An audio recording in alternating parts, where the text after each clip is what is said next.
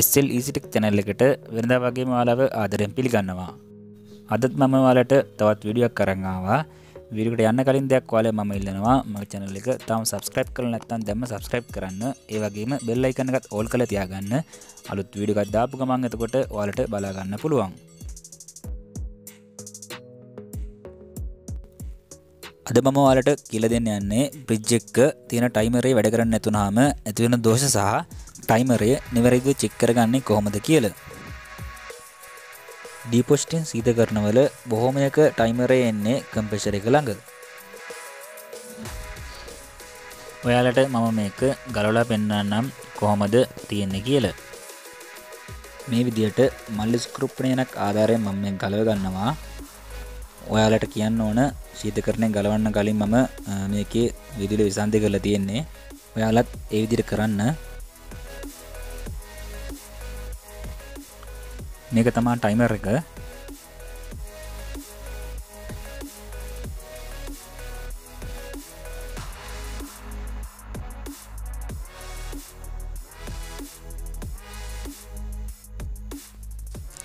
මම දැන්වාලට මේක වැඩ කරන්න නැතුනහම ඇතිවන දෝෂ ගැන කියර දෙන්නම්. වලට පෙන ඇති මෙන්න මේ විදිට ඔපට කොයිල් එක සම්පුරෙන් මයිසලින් බැඳෙනවා එකන ඩිපෝස්ටින් එක ඔන්න නැතුනම තම මේ වෙන්නේ. එතකොට ඒල කොටසේ ගොඩක් කෝල් එක තියෙනවා. ටයිමර එක කෝල් මෝඩ්ඩකට වැටලා. ඒ කියන්නේ කම්පේශරක විතරක් වැඩ කරනවා. ටයිමරකින් හිටර එක පැත්තේකැන හිට පැත්ත ඔන් කර නැතු නම තම මෙහ වෙන්නේ. මේ වගේ ටයිමරයක් හරියට වැඩ කරවා නම් පැය අටකදී හිටර පැත්ත ඔන් කරනවා. එතකොට අයිස්ටික දීවෙලා ගියම් පස්සෙ තමයි ආය කම්පෙෂර පැත්ත ඔන්න වෙන්නේ. මේ වැඩේ හරියට වෙනවනම් අනිවාර්යයෙන්ම පැය අටකට වරක් මේක වෙන්න ඕන. ඒ වගේම තමා ටයිමර එක හිටර පැත්ත ඔන්න වෙලා ටයිමරේ දෝෂර ලක්ලා තිබොත් එහෙම ප්‍රිජ්ජගේ ඇතුළි පැත්ත රත්වෙනවා එතකොට වෙන්නේ කම්පෙෂර එක ඔොන් කරන්න නෑ මෙයා.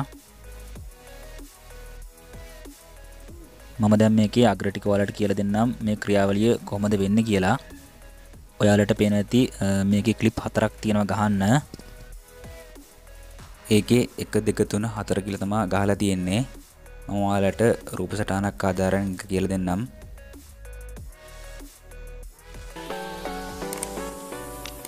මම මේ විදිර පේන්න ඕලට ඇඳගත්තා එක දෙක තුන හතර කියලා ටයිමරය අග්‍ර හතර. මේකේ මම එක ඇඳල තියෙන අග්‍රය එකයන් එකට නිවටල් එක සම්බන්ධ කරන්නේ. ඒ වගේම තමා තුන ගහලා තියෙන එක. එකන තුන්වෙනිකට අපි සම්බන්ධ කරන්නේ ලයිව් අග්‍රය.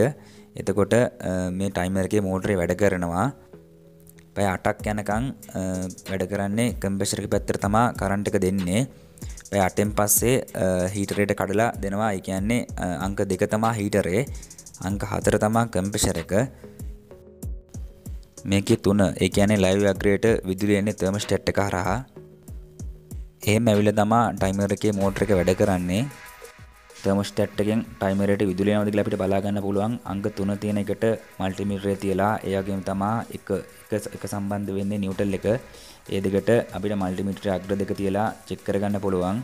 ඔයාලට මල්ටිමිටෙන් චෙක් කරන විදිහ මම කලින් වීඩියෝක්කදි කරා. ඔයාලත් ඒක බලන්න. නැත්තම් එක සහ තුන යන අග්‍ර දෙකට බල්බ එකත්තර චෙක්කරගන්නත් පුළුවන්. දැම්මම ඔයාලට ටයිමර්ක චෙක් කරගන්න වඩාත් ලේසිම විදිහත්තම කියන්න යන්නේ. ටයිමර් එකේ කලිප්ටි අපි හරියට සම්බන්ධ කරලිවරලා පිජ්ජකට විදුලි සැපීමත් දෙනවා. එතකොට අපිට බලාගන්න පුළුවන් ටයිමරේ ඔලට පේන ඇති මෙන්න මේ හරි ඇතුළ පේනවා. කියන්නේ දැතිරෝධයක් එකක් පේනවා.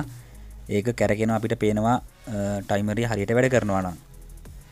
ඒක ඩීපොස්ටිම් මෝඩ් කරනාම කැරගෙනෙ නෑ ඔයාලට දැම් බලාගන්න පුළුවන් මේ ටයිමර ඇතුලේ දැතරෝධයක් ඔයක් කැරගෙනවා ඒකින් අපිට නිගමනයකට එන්න පුළුවන් ටයිමර එක හොඳ මට්ටමක තියෙනවා කියලා. හැබැයි මේක ඩිපොස්ටි මෝඩිටටනාම කැරගෙනක අතර වෙන්න ඕන. ඔයාලාගේ ගෙදර ශීත කරනෙත් ඉහල කොටස දැඩි කූල්ල එකක් හෝ උෂ්නත්යක් තිබ්බොත්තේම ඔයාලටත් මේ විදිර චෙක්කරගන්න පුළුවන්. ඒ කරලා ඔයාලම හදාගන්න උත්සා කරන්න. ඔයාලත් අලුත්තෙම ටයිමරක් කයි කරනවා නම් එක වටයක් කරකලා හයි කරන්න. මොකද ටයිමර හිරවෙලා හෙම තියෙන්න්න පුළුවන්. මං හිතනවා ඔයාලත් මේ විඩියකින් යම් කිසි දෙයක් ගෙනගන්න ඇති කියලා මේ වීඩියෝකට ඔයාලා කැමති නම් ලයික් කරන්න, කමෙන්ට් කරන්න, ෂෙයා කරන්න, ඒ වගේම මගේ channel එක subscribe කරන්නත් අමතක කරන්න එපා.